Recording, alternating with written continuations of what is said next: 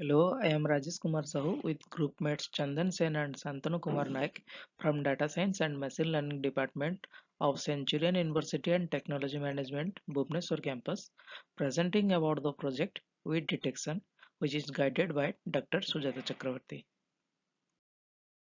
These are the contents of our project. India is the largest producer of agricultural products in the world. Nowadays, most of the agricultural tasks are performed by different techniques. But one of the major aspect is weeding, which means the removal of unwanted plant which present in the crop field is still done by the traditional methods. By random use of agrochemicals, which has many bad circumstances. So we develop a model which will help in easy identification of weed. Nowadays, using machine learning, many agricultural problems are getting solved. The farmers are getting benefited by saving their time as well as money by taking accurate decisions. It helps them to maintain the quality and required quantity of their harvest. To get the idea about the project, we have done the literature survey by reading different papers which are already published. From them, some are mentioned here in the tabular format.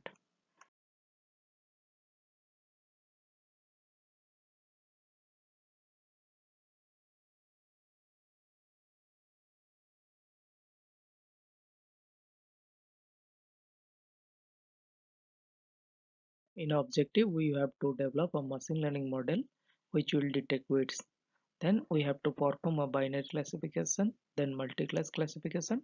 Finally, we have to implement the model on web.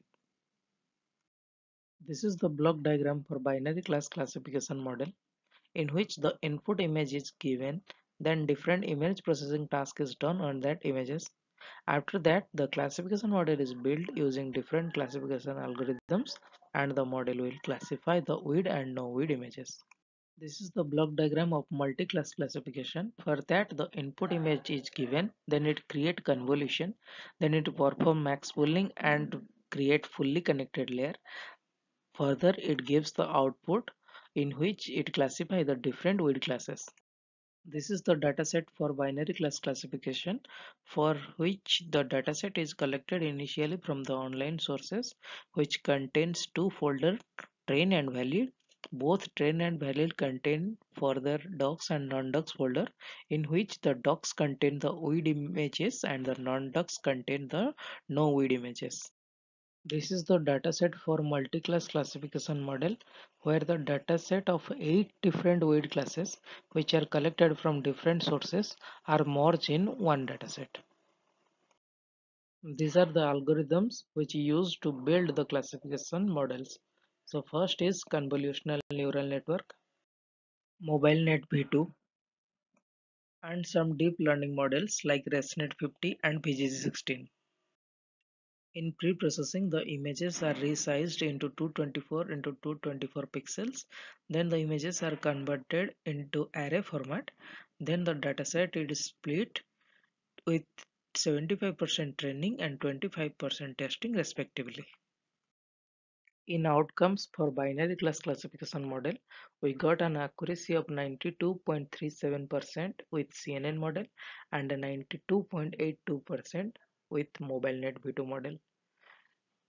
In multi-class classification model, we got an accuracy of 88.91% with CNN model, 82.16% for MobileNet V2 model, 40.87% for ResNet 50 model, and 81.09% for VGG 16 model. This is the outcome of binary class classification model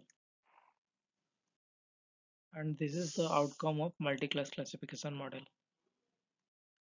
The model is implemented on the web using the Python library called Gradio which help to create easy and customizable user interface for machine learning models. These are the output of the model from the web implemented UI of the model. These are the output of the model from web implemented UI.